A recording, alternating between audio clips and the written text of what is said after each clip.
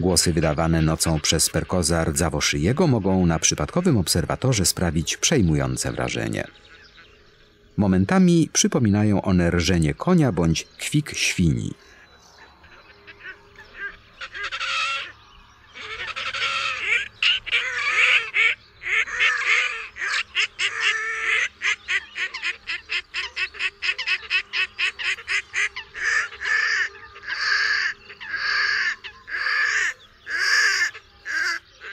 Istnieje ryzyko pomylenia tego głosu z dźwiękami wydawanymi przez wodnika.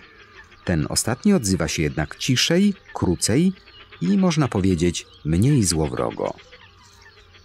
Posłuchajmy zatem dla porównania głosu wodnika.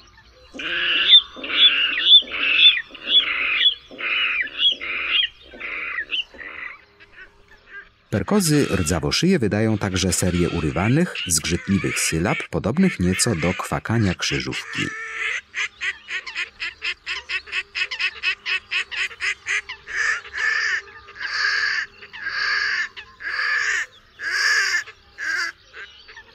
Jeden rodzaj głosu często przechodzi w drugi.